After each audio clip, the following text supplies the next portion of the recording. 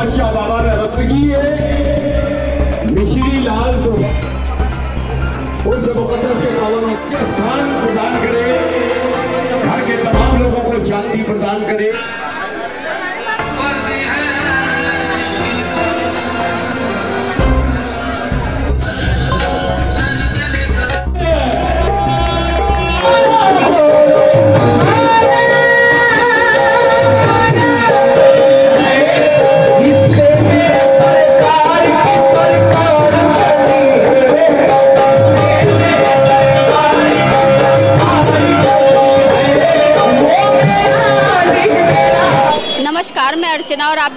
हंगामा टाइम्स हंगामा टाइम्स जिस तरह से आपको दिखाता है उस मुबारक मेले को लेकर क्या खास है? जहाँ चार दिवसीय कार्यक्रम है एस फाउंडेशन के द्वारा, जहाँ पर जो है, आप ये भारी भीड़ देख रहे हैं, यहाँ पे पूरा मेले का जो इंतज़ाम हो गया। चार दिन से जो लोगों का इंतज़ार था, वो इंतज़ार ख़त्म हुआ। आज महफिल शाम को लेकर के यहाँ पे दूर दूर से कव्वाल लोग आए हुए हैं। तो हमारे साथ में एसएमएस फाउंडेशन के अध्यक्ष जो है, अकील जी हैं तो उनसे हम बात करेंगे।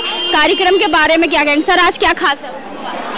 आज आज के कार्यक्रम में महफिल समा होगी जिसमें गुलाम वारसी देवा शरीफ से आए हैं। कव्वाली का प्रोग्राम करेंगे वो। कितने दिनों से तैयारी चल रही है। ये तैयारी दो महीने से चल रही है लगभग।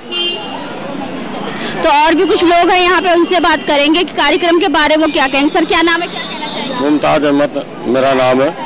मैं कहना चाहूँगा ये मेला हमारा सफल है और बहुत अच्छा हो रहा है। और चार दिन से इसका प्रोग्राम है और एस एम एस फाउंडेशन के द्वारा विगत तेईस सालों से कार्यक्रम हो रहा है और 108 साल हो गए इस मेले को।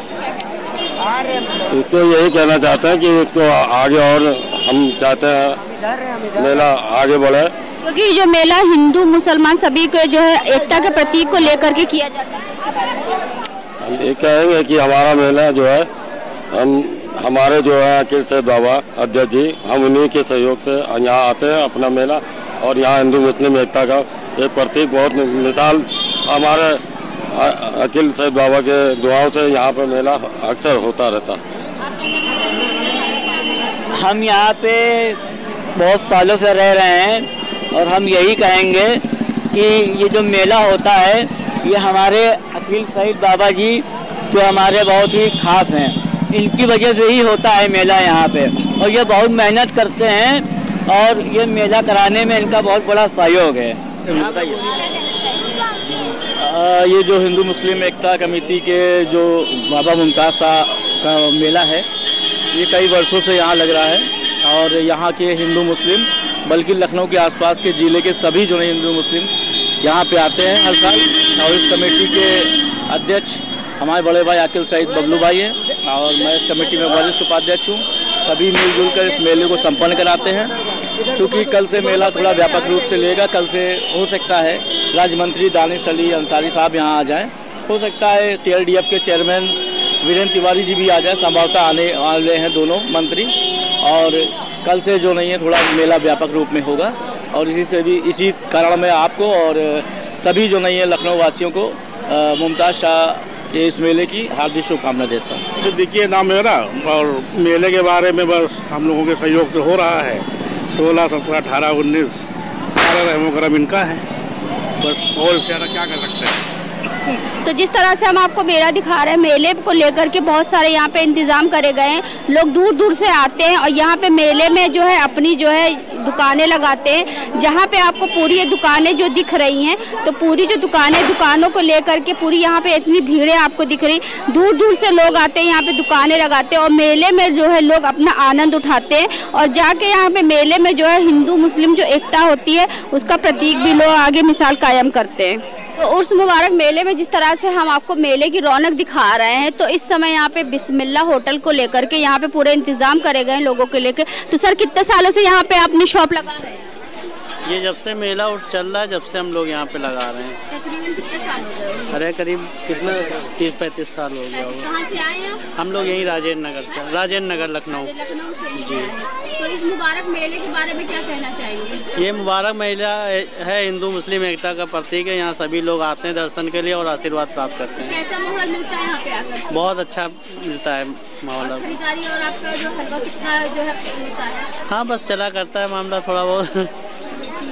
तो जिस तरह से हम आपको दिखा रहे हैं, पूरा उर्स मुबारक मेलों को लेकर के यहाँ पे लोग अपना खरीदारी भी करते हैं, खाने पीने के इंतज़ाम भी लगे हुए हैं। यहाँ पे सभी महिलाएँ लोग अपनी ज़रूरतमंद का सामान भी खरीद रहे हैं। जिस तरह से हम आपको बराबर पूरा उर्स मुबारक मेले की भीड़ दिखा रहे हैं, ये भीड़ जो होती है वो कम से कम चार दिन तक लगी रहती है और इसकी तैयारी जो पिछले दो महीने से, जिस तरह से एसएमएस फाउंडेशन के अध्यक्ष जो है अकील जी ने बताया कि जो है पिछले दो महीने से इसकी तैयारी भी होती है और दूर दूर से लोग यहाँ पे खरीदारी करने आते हैं। कम से कम सैकड़ों की तादाद में यहाँ पे दुकानें लगती हैं।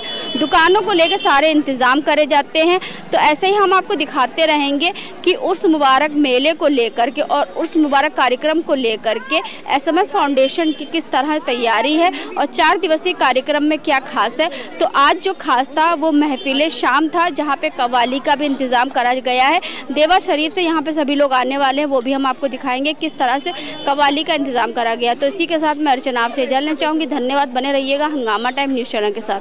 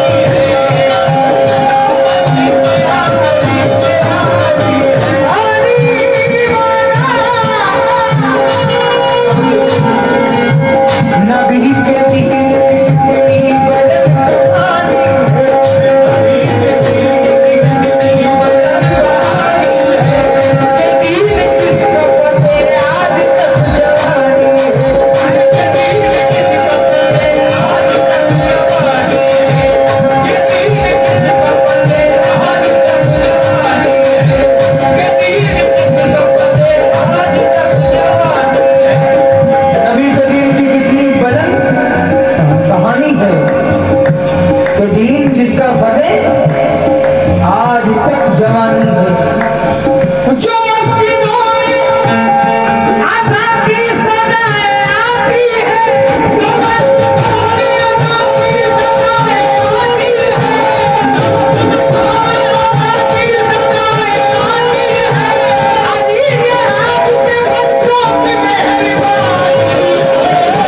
हंगामा टाइम्स की तमाम खबरों को देखने के लिए हंगामा टाइम्स को सब्सक्राइब कर लीजिए और बेल आइकन दबा लीजिए। अगर आपको ये वीडियो अच्छा लगा हो तो लाइक बटन प्रेस कर अपनी प्रतिक्रिया हमारे कमेंट बॉक्स में देना मत भूलें